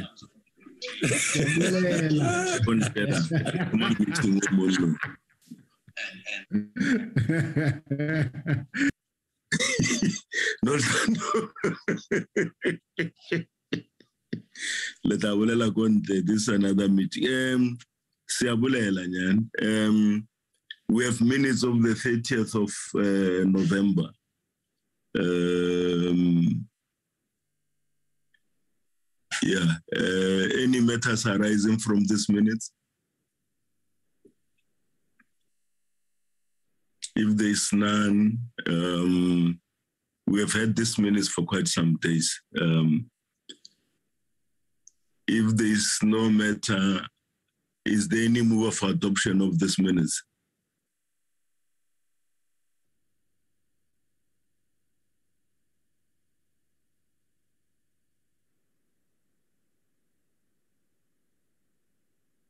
Is there any, is there any move for adoption?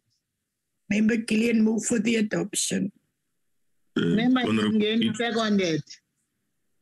Dong- uh, Honorable Ndongeni seconded. Um, thank you very much. Is there another uh, matter, uh, Honorable um, Sis uh, uh, uh, uh, um, Noltando? There's none, Chair.